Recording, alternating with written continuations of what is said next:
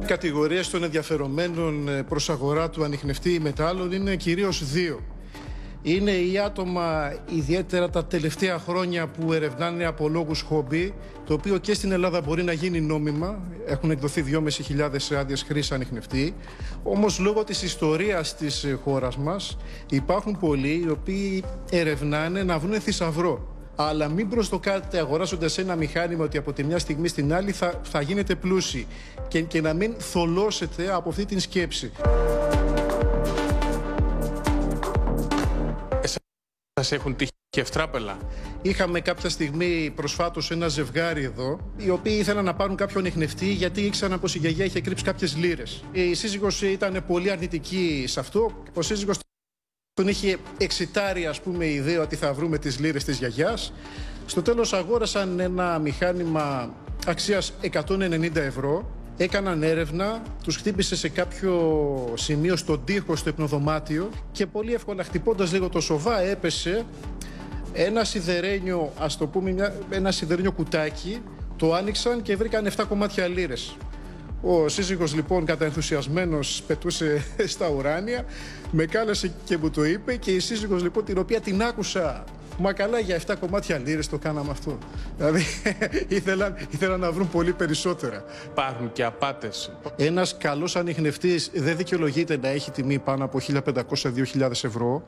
Υπάρχουν και ανιχνευτές οι οποίοι μπορεί να φτάσουν και τα 5.000 ευρώ, είναι πολύ εξειδικευμένοι και καλό θα είναι πριν ε, μπουν στη διαδικασία να δώσουν αυτά τα χρήματα να ρωτήσουν και εμάς.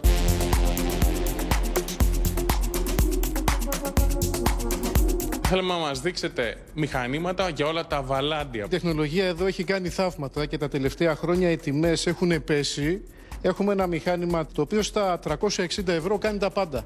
Και το πιο σημαντικό από όλα είναι ότι δεν μας αναγκάζει να κάνουμε ρυθμίσεις. Δηλαδή πατάω το κουμπάκι, ανοίγω και ψάχνω. Και ο συγκεκριμένος ανιχνευτής ο οποίος συνδυάζει και την έρευνα με τον δίσκο, όπως βλέπετε εδώ είναι ασύρματος, μπορεί και αποσπάται αυτό το τηλεχειριστήριο και συνδέεται με αυτά εδώ τα πολύ μεγάλα ποινία. Εδώ κουμπώνει το τηλεχειριστήριο και μπορούμε πλέον να κάνουμε έρευνα μόνο μεγάλων αντικειμένων και βαθιά.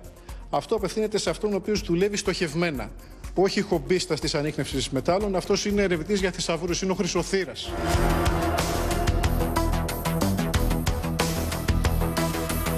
Λοιπόν, κύριε Κυρίτσι, βρισκόμαστε εδώ σε ένα χώρο που δεν χρειάζεται να πούμε ποιος είναι. Φαντάζομαι δεν μπορεί να βρει και κάτι κάποιος, θα τον έχετε ήδη ερευνήσει.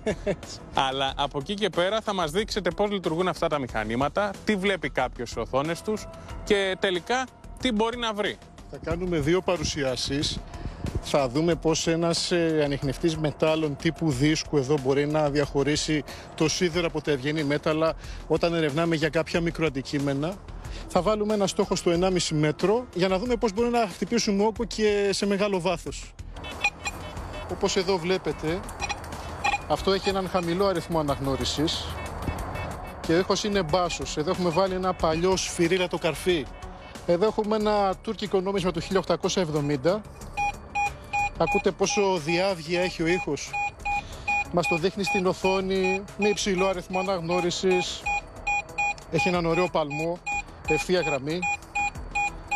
Και φυσικά εδώ έχουμε μια χρυσή λίρα, έτσι, η οποία και αυτή έχει έναν υψηλό τόνο και τον αριθμό αναγνώρισης τον οποίο συνήθως περιμένουμε να δούμε σε μια χρυσή λίρα. Και θα σας δείξω και τον τρόπο για να βρούμε τους ε, θησαυρούς.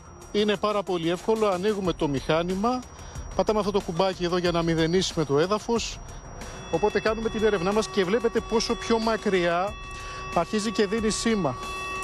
Εδώ είμαι πάνω από το στόχο και χτυπάει.